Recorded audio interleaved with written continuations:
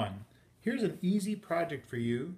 It's a take a selfie with a chemical. There's going to be three of them uh, in the next few weeks.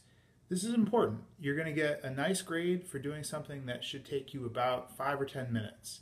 Here's what I want you to do. This is a list of six, or you have a list of six different chemicals.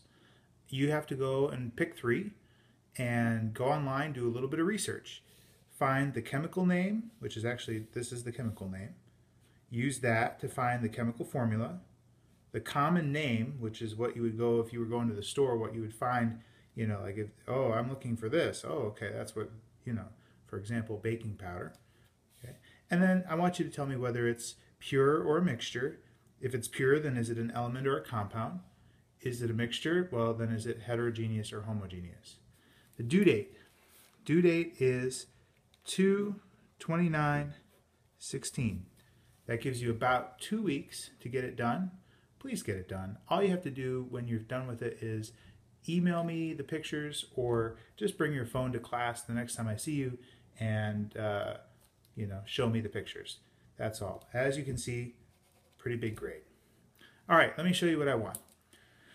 Um, I'm going to use potassium bicarbonate, something I wrote in. You do not get to use this. You have to choose one of the six here. Okay, and oh, potassium bicarbonate. Well, that's actually just baking powder. So here's some baking powder, and I'm going to grab my camera and take a quick picture with me in it so that I can see that it's there. Okay, here's my smiling face. Yay! Okay, so um, when you're done with it, if you go to the store, put it back on the shelf nicely, neatly, so that nobody gets angry with us. And then, you know, do it two more times. Three selfies, and you're done. Hope that you can get this done. These are great chemicals. Hopefully this is an easy way for you to get good points. I'll see you soon. Bye.